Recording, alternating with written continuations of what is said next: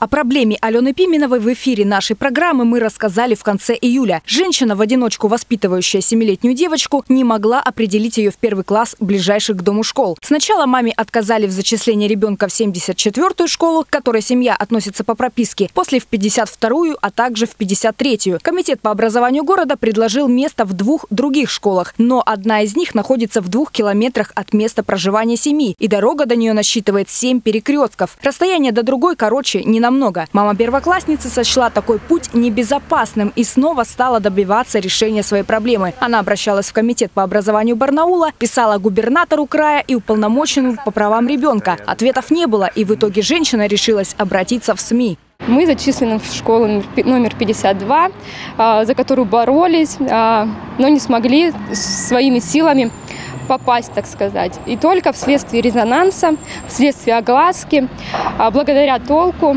а, мы зачислены в желаемую школу. То есть толк в толке есть.